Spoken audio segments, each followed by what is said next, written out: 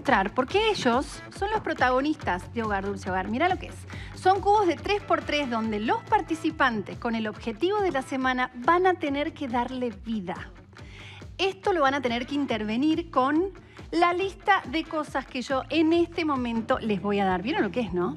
Sí, Los sí. dos equipos van a tener que trabajar en estos cubos maravillosos que hoy, lunes, están totalmente vacíos, pero el viernes tienen que estar completos con esta lista del desafío semanal que es un living.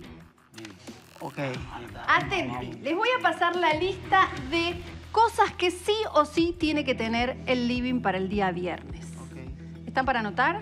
Sí, Listos. Ojo, porque si se olvidan de algo, de acá al viernes no pueden contar con ese, con ese material, ¿eh? Así que tienen que estar muy atentos para después ir a buscarlo a la despensa. El living deberá tener las paredes pintadas o intervenidas, como quieran.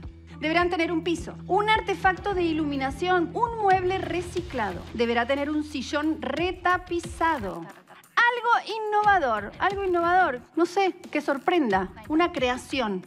Una mesa de arrime o ratona, un cuadro pintado a mano y toda la decoración necesaria para darle vida a estos cubos. Cuanto más ustedes pongan, mejor todavía, porque el viernes van a ser calificados con un jurado implacable. Los voy a presentar de a uno el